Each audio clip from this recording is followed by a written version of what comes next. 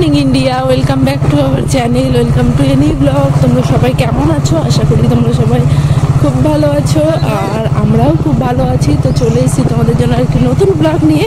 আর আজকে ছট পুজো কালকে বিকেলেও হয়েছে, তো বিকেলে আর যাওয়া হয়নি, তো সকালেরটাই যাচ্ছি। চলো, আমাদের এখানে কেমন ছট পুজো হয় তোমাদের সঙ্গে শেয়ার করব।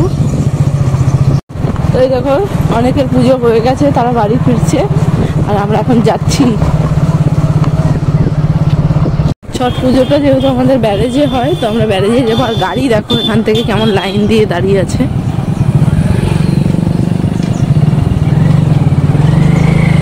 এগুলো সব এসছে এগুলো তো ভরে ভরে লোক এসছে বাবা।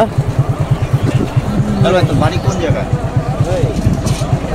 আমরা আস্তে আস্তে সূর্য অলরেডি উঠে গেছে আর সূর্য উঠে যাওয়া মানেই হচ্ছে মানে পুজো শেষ আর কি। তো অনেকে গুটি গুটি পায়ে বাড়ির দিকে এগাচ্ছে।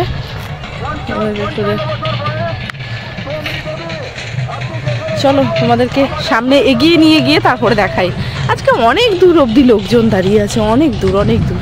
চলো সবটা ঘুরবো তোমাদেরকেও দেখাবো। লোক দেখো কত লোক জলটা অনেক হ্যাঁ অনেকটা দূরে জলটা সেই জন্য মেলাটাও একটু বেশি হাঁটতে হচ্ছে। অন্যবার এইটুকু এলেই হয়ে যায় বলো? সূর্যটা যে উঠে গেছে।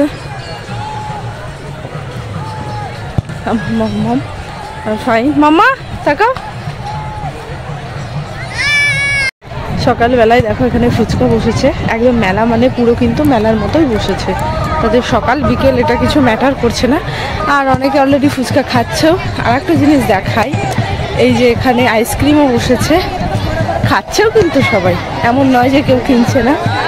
আর এইখানে বসেছে বাচ্চাদের জন্য বেলুন। পুরো এবার মনে হচ্ছে একটু বেশি ভিড়।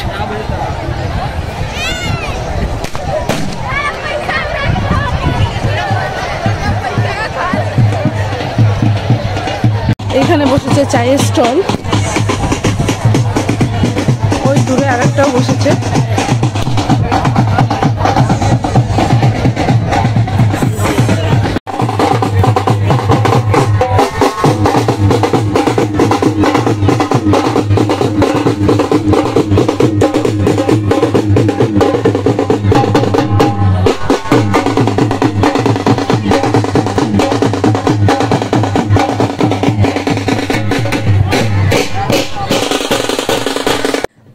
বছর ভোর পাঁচটার সময় উঠি আর সাড়ে পাঁচটার মধ্যে পৌঁছে যাই এখানে ছট পুজো দেখতে। এবার ছটার সময় উঠেছি, সাড়ে ছটায় এলাম। এক ঘণ্টা লেট এসে দেখি পুজো একদম কমপ্লিট তোমাদেরকে দেখালাম সেটাই আর কি। পুজো হয়ে গেছে আর এই দেখো আগ গাছগুলোও তুলে নিচ্ছে। তো এবার পুজোটা সেরমভাবে দেখতে পেলাম না। তবুও কিছু কিছু মানুষ পুজো করছে আর তোমাদেরকেও দেখাতে পারলাম না। তো আর আর একটা জিনিস দেখো, এই দেখো, এত সকালে ভোর সাড়ে ছটার সময় জলের মধ্যে নেমে ওরা কি সুন্দর স্নান করছে, মজা করছে। আমার দেখে মনে হচ্ছে আমিও জলে নেমে যাই, কিন্তু সেটা তো আর সম্ভব না।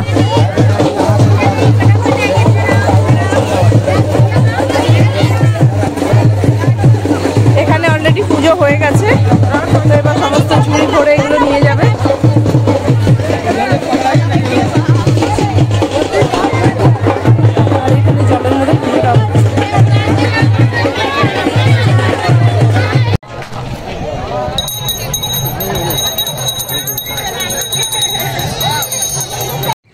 কখনো মাম্মাম দেখো আমার কোলে, কখনো ওর পাপার কোলে, চারিদিকটা কিন্তু দেখছে ঘুরে ঘুরে। আর ওকে কোলে নিয়ে আমি ওকে দেখাচ্ছিলাম, কোথায় কোথায় কি পুজো হচ্ছে দেখতে দেখতেই দেখলাম যে ছট পুজোর যে ঠাকুর হয় মানে মা ষষ্ঠী আর সূর্য দেবতার তো পুজো হয়, তো সেই ঠাকুরের যে মূর্তি সেটাও নিয়ে এসছে।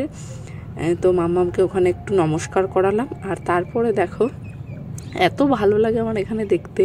বেশ গোটা গোটা ফল আর সবজি দিয়ে পুজো হয়। কি সুন্দর লাগছে না দেখতে। আমি নিয়ম কানুন অত কিছু জানি না, তোমাদেরকে অত বলে বোঝাতে পারব না, কিন্তু আমার দেখতে এত ভালো লাগে। আর এখন তো ধরো মানে কথাতেই আছে, ধর্ম যার যার উৎসব, সবার আর কি সবাই যোগদান করতে পারে। এখানে বাঙালি, বিহারি, পাঞ্জাবি, মুসলিম এরম কোনো ব্যাপার না। যার ভালো লাগে সেই যেতে পারে। তো এই ব্যাপারটাও আমার খুব পছন্দের আর কি। যে আমরাও গেছি আর কি ওদের উৎসব বলে, বা ওরাও আসে আমাদের দুর্গা পুজোতে সবাই এখন ভাই ভাই আর কি। তো বেশ ভালো লাগে এটা। আর এই যে এখানেও দেখো একদম পুজো সবে সবে হয়েছে। তোমাদেরকে না পুজোটা আমি প্রথম থেকে দেখাতে পারলাম না, এটা একটু আমার একটু কষ্ট লাগছে।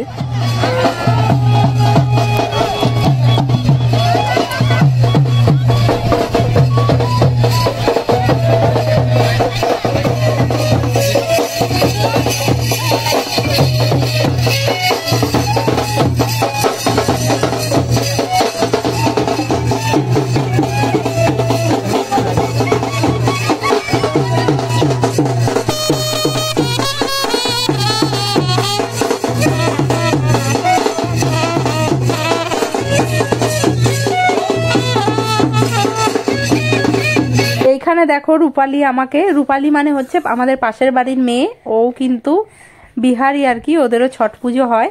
তো ওর সাথে গিয়েও দেখা হলো। আর আমার অনেক ভিডিওতে, শর্ট ভিডিওতে ওকে দেখেছ, নাচের ভিডিওগুলোতে। তো রূপালীর সঙ্গে দেখা হয়েছিল, ও দেখো আমাকে টিকা লাগিয়ে দিচ্ছে।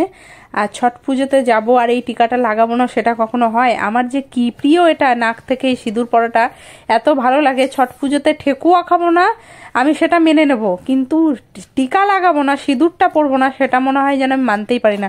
মানে আমার এতটাই পছন্দ। তো আমাদের লাগানো হয়ে গেছে, তারপরে এই যে মাম্মামকে একটু লাগিয়ে দিল।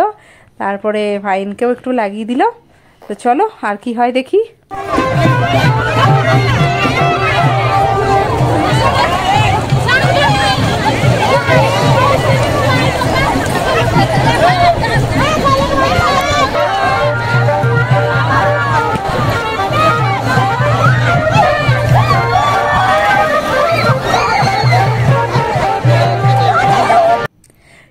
লাগানোর পর আমার মুখের হাসিটা দেখেই তোমরা বুঝতে পারছ যে আমি কতটা হ্যাপি সত্যি তোমাদেরকে বলে বোঝাতে পারব না। এটা লাগালে আমার এত ভালো লাগে, আমি বাড়ি এসে না এটাকে ধুই পর্যন্ত না। মানে আমি রেখে দিই দু, তিন ঘণ্টা, তারপরে যখন ফ্রেশ হই, তারপরে ধুই। মানে বাড়ি এসে সাথে সাথে আমি ধুয়েও ফেলি না এটা। এটা আমার এতই পছন্দ। তো তার মাঝে তোমাদেরকে একটু দেখিয়ে দিলাম গোটা মহলটা আর কি। তা করতে করতে আমার মাম্মামের একটা বেলুন খুব পছন্দ হয়েছে। দূর থেকে দেখে বলছে, পাপা, আমাকে ওটা কিনে দাও। তো ওর পাপা সেই আবদার মেটানোর জন্য এই যে বেলুনটা ওকে কিনেও দিয়েছে। আর যদি কিছু নেয়নি বিশেষ, শুধু বেলুনটাই নিয়েছে। তো তারপরে এই যে আমরা গুটি গুটি পায়ে সবার পেছন পেছন আমরাও চলে যাচ্ছি বাড়ির দিকে। তার কারণ পুজো তো শেষের দিকে, আর এবার আসতে একটুখানি লেট হয়ে গেল। তো বাড়ি যেতে যেতে মানে রাস্তায় চোখে পড়ল যে এখানে দেখো বেশ নাগর দোলনা বসেছে।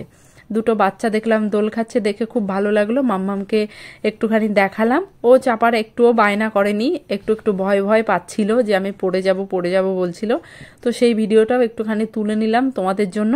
আর তারপরে মেজদি ফোন করেছিল মানে আমার মেজো যা, বলল যে ফাইনের সঙ্গে দেখা হয়েছে, আমরা কোথায়? তো আমি ওই জন্য আবার দোলনার সামনে একটুখানি দাঁড়ালাম। তো মেজদি এই যে এলো, আমার মাম্মাম দেখে একদম দৌড়ে চলে গেল ওর মেম্মার কাছে। তারপরে এই যে একটুখানি ওরা গল্প করছিল, মেজদির আরও ফ্রেন্ড এসেছিল, তাদের সঙ্গে আমার মাম্মাম একটুখানি হাই হ্যালো করছিল। তো এরপর চলো বাড়ির দিকে রওনা হই। আর যতক্ষণ ছিল মাম্মাম, আমার মেজদি কিন্তু কোলে করে নিয়েছিল ওকে। পুরো নদীটা দিদি নিয়ে এসছে। তো চলো, আমরা সোজা চলে যাচ্ছি বাড়িতে। আর যাওয়ার পথে রাস্তায় দেখো কত ভিড়, পার হতে একটুখানি সমস্যাই হচ্ছে। আর কন্টিনিউ কিন্তু পুলিশ বাহিনী নিজেদের মানে ওনাদের কর্তব্য ওনারা করে যাচ্ছেন ডিউটি করে যাচ্ছেন। আর হেল্প করার জন্য কিন্তু সব সময় ওনারাই এগিয়ে আছেন। সব সব সময় দেখছিলাম অ্যানাউন্স হচ্ছে কোথাও বাচ্চা হারিয়ে গেছে কেউ নিজের ফ্যামিলির কাউকে খুঁজে পাচ্ছে না। মানে এরকম ব্যবস্থা ছিল যেটা খুবই ভালো লেগেছে, একটা ভালো দিক। যাই হোক এরপরে আমরা ভেবেছিলাম যে আমরা একটু বিসর্জন ঘাট যাব, ওখানেও হয়, ওখানে দেখতে। কিন্তু তারপরে আবার ঠিক করলাম, না, বিসর্জন ঘাট আর যাব না, বাড়ি চলে যাব। তো বাড়ি গিয়ে আবার রান্না বান্নাও করতে হবে ডিউটির জন্য। তো এই যে আমরা বাড়ি চলে যাচ্ছি, মাম্মামের বেলুনটা আমি ধরেছি। তো আজকের ভিডিওটা এই পর্যন্তই। চলো, টাটা, বাই বাই।